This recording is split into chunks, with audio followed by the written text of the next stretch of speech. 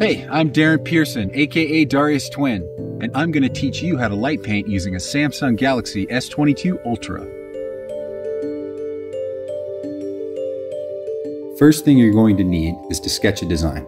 So let's use one of my favorite features on this phone, the S Pen. Light drawings need to be made in under 30 seconds, so our design should be kept relatively simple. To light paint, we'll need to get a tripod to keep the camera steady during the long exposure and some lights.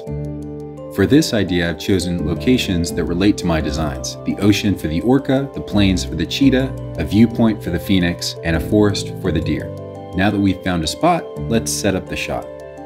To shoot a light painting, you're going to need the flexibility of Pro Mode, which unlocks advanced access to your Galaxy S22 Ultra camera settings. So once you've set up your Ultra on the tripod, you're going to open the camera app, scroll to More, and choose Pro. First, set your focus, which you can do manually or using the auto setting. I've found that 0.8 is usually a good focus value for light painting. Your camera's sensitivity to light is determined by the ISO setting. The higher the ISO, the more sensitive your camera's sensor is. Because we're shooting in a relatively low light environment, I find the 100 to 800 range to be a good setting for starting out, but play around depending on the ambient light in your environment. Do a practice run drawing your design in the air and see how many seconds it takes. Then try to match the shutter speed to that number. You can use the S Pen to trigger your shutter so that your phone doesn't move when beginning the capture.